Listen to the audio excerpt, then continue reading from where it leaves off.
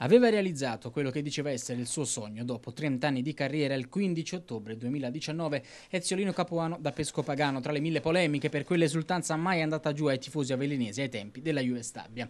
Arrivato tra rabbia e scetticismo ha conquistato la piazza biancoverde a suon di risultati innegabili come abbia rivoltato l'Avellino come un calzino portandola a veri e propri colpacci come le trasferte di Terni e Monopoli. 24 partite in totale con l'Avellino per Capuano, due di queste in Coppa Italia contro Cavese e Ternana, 9 vittorie vittorie, 7 pareggi e 8 sconfitte, con 30 punti conquistati in campionato, 26 gol fatti e 25 quelli subiti. Numeri sicuramente importanti per un allenatore che però a 55 anni non ha mai assaporato la Serie A e la Serie B, nonostante gli addetti ai lavori ne elogino lo spessore tecnico e tattico. Un perché dovrà pure esserci per una gestione dello spogliatoio probabilmente non eccellente per troppi chiacchiericci attorno alla squadra pochi giorni prima della partenza per Terni.